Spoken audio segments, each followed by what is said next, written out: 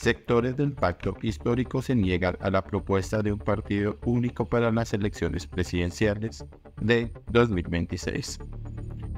El senador Paulino Riascos aseguró que el gobierno nacional nos ha tratado como le ha dado la gana. De cara a las elecciones presidenciales de 2026, el pacto histórico podría convertirse en partido único. La decisión se tomó en la Segunda Asamblea Nacional de Colombia Humana.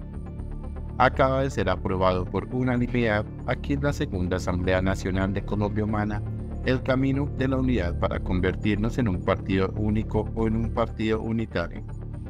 Hacemos el llamado a los otros partidos Hoy junto al presidente se leyó y fue votado por unanimidad que Colombia Humana aprueba ir al Partido Único Unitario, indicó el representante de la Cámara por Antioquia del Pacto Histórico Alejandro Toro. En total son 12 partidos que integran la colectividad que llevó a Gustavo Petro a la presidencia de Colombia. Sin embargo, algunas de ellas se han negado a la iniciativa, debido a que no están dispuestos a sacrificar su personalidad jurídica para un nuevo proyecto político. Entre los partidos que están en desacuerdo se encuentra la Alianza Democrática Amplia ADA, liderada por el senador Paulino Riascos.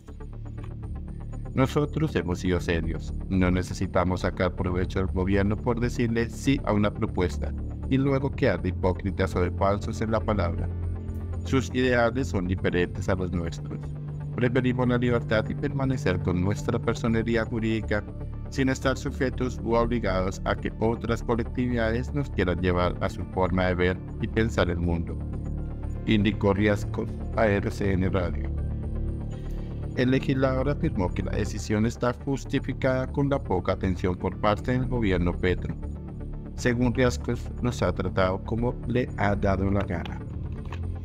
Hay un acuerdo de gobernabilidad donde los únicos que se creen dueños y señores de lo que construimos entre todos aliados y ellos son unos pocos. Nosotros no tenemos la participación política, no tenemos derecho a las aspiraciones a los escenarios políticos, aseveró Riasco.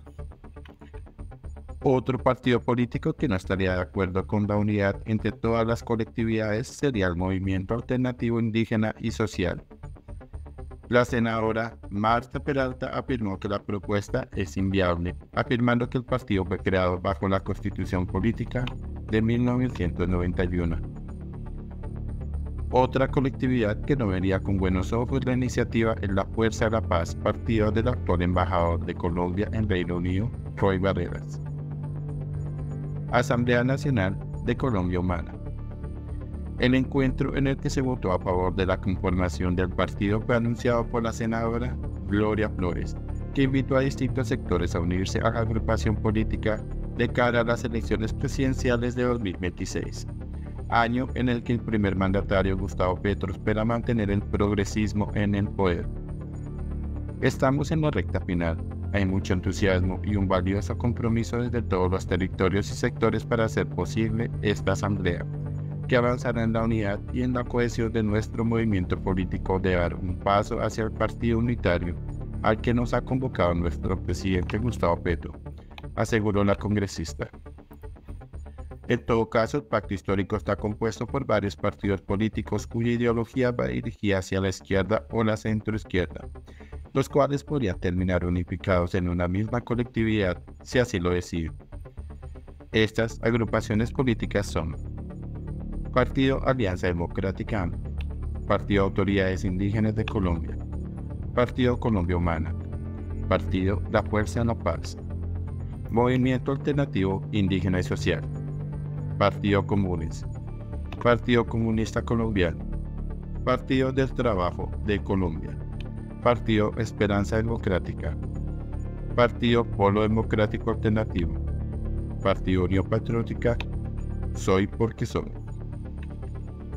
Buscando la unidad de las colectividades, el primer mandatario instó a realizar una reunión para que se garantice una fuerza política amplia que luche por mantener el progresismo luego de que termine su mandato en 2026.